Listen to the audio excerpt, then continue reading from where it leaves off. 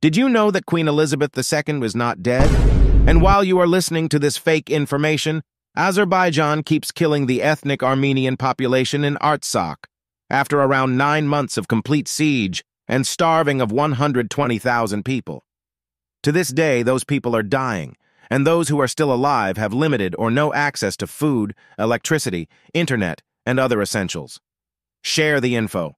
Stop another genocide from happening.